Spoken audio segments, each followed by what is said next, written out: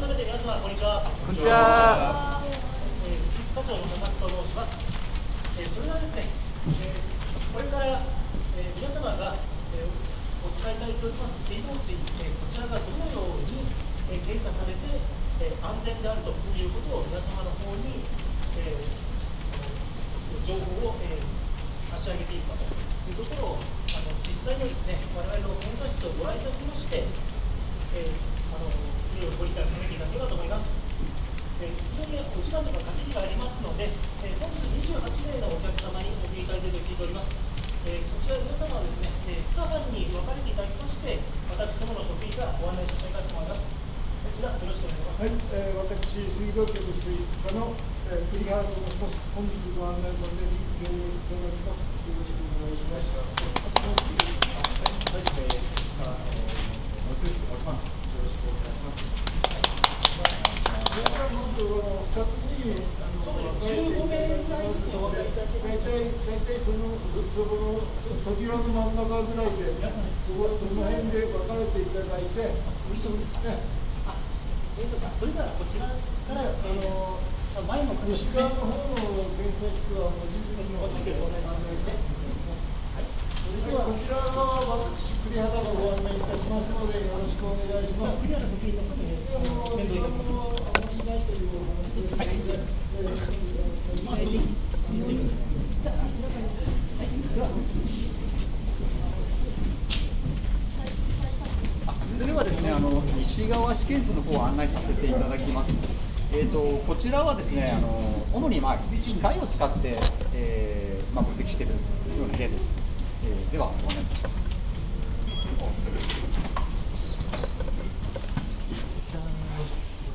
えっ、とまずこの辺りでちょっとご覧いただけますでしょうか。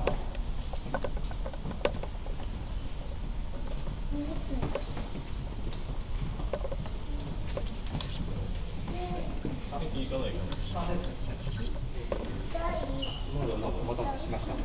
えーとですね、普段ですね、えー、とここのあの検査室では、あの見学者の方にはご案内してないんですけれども、今日は特別にちょっとあのご紹介させていただきます。でただですね、残念なことにですね、えー装置が見えるところ、一箇所ぐらいしかなくてですね、ちょっと残念なんですけど、申し訳ありません。で、まずですね、えー、とこちらの部屋にある、えー装置なんですけど、ICP マス、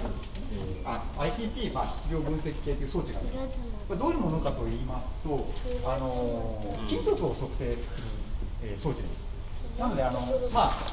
皆さんの、まあ、鉄や銅など、あと、まあ、人の健康に影響する、まあ、可動みとか、人とか、名前とか、えー現在ですね、えー16種類の金属を測れるようにしています。で大体あの1つのサンプルで5分程度で16種類同時分析できます。ただですね、えーその装置で測れるまでには前処理、例えば料理で下ごしらえやったり、あれ3時間ぐらいかかります。ですので、まあ、トータル的には、まあ、そうですね、えー、1検体なるだけでも3時間ちょいということなんですね。あの豊洲とかで今、ええあのああいうような検査をこちらで、もうでどういうようなことをやってらっしゃるということそうですね。はい。ただですね、あの水道法に基づいた試験方法と、ああいうちょっと環境的なほぼ似てはいるんですけれども、若干ちょっと違いますので、ええあのその試験法通りでやらないとあの言えないので。手順にのっとってやらないと。そうそうなんです。では、えー続きましてよろしいでしょうか。あちなみにですね、この部屋はですね、えっとフリールームになっておりまして、えっとまあ測定する金属が結構低いところまで測ってるんですね。ということであの汚染がないようにフリールームにしております。ではよろしいでしょ。次こちらです。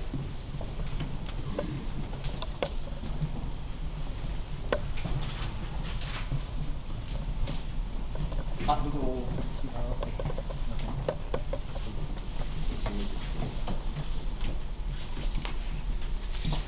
写真いいんですか。あ、どうぞどうぞ。じゃあまず写真え どうぞ。あ、よろしいですかね。えっ、とこちらですね、まあ、ようやく、えー、っと分析装置が見られるところになります。えー、ここにあるのはですね、あのえー、ガスクロマトグラフ質量分析計という装置になります。えー、主にですね、あのまあ、農薬とかですね、あとカビ臭物質、えー、とですね、湖とかですね、え川にですね、あのカビ臭の匂いを発する生物が、えー、と出てくることがあるんですね、まあ、特に夏場、まあ、これから、まあ、春から夏にかけて出るんですけどそういうものをですね、えー、と測ってですね、えー、調べて、えーとまあ、あのこの機械はですねあの浄水場の方にもありまして浄水場の方で測ってちょっとカビ臭が、まあ、ある程度の濃度が出てきたよってなりましたら浄水場の方で活性炭を入れて、えー、匂いを取ってます。でお客様の方に、えーとまあ、不快な感じの水を出さないように、えー、しております。式は、えー、よろしいでしょうか、ね。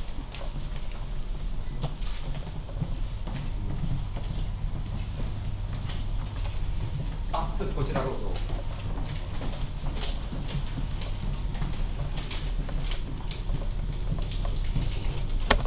ちょっとあの、えー、窓が小さくて見づらいんですが。えーと、先ほどちょっと見ていただいた装置と同じあのガスクロマトグラフ質量分析装置になります。でこちらはですね何を測っているかと言いますと揮発性有機化合物というものを測ってます何のこっちゃってことになりますけどあのー、まあクリまあ、今じゃほとんどあれなんですけど、ね、クリーニング屋さんで使われている薬とかですねあとまあ有害なトルエンベンゼンでこう揮発しやすいやつ多分今豊洲で話題になってている感じのものですかね。そうです、ベンゼンなんかもそうなんです。そういった方があれでしたね、良かったですね。で、あのそういうものを測るまた機械の機械になっております。うん、えー、っと、はい。ちょっとまあ専用にあのまあこちらもですね、あのまあ汚染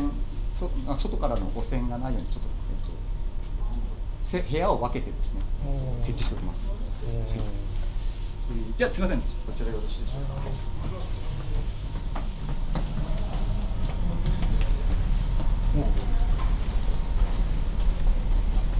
じゃあすみません。ちょっとこちらの前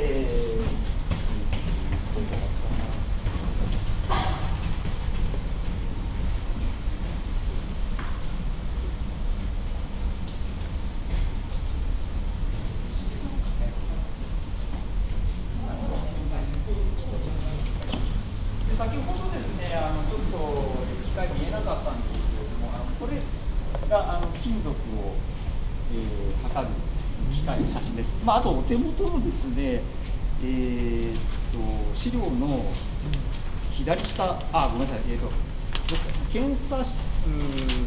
へっていうところですね、ようこそ水質化検査室へという方のですね、えー、一番左下に ICP バス分析室があるんですが、まあ、ここにもあの、えーと、2台金属を測る機械がありまして、それもう1台の方がこちらの写真に写っている機械が、えー、金属を測るものです。であとですね、えー、っと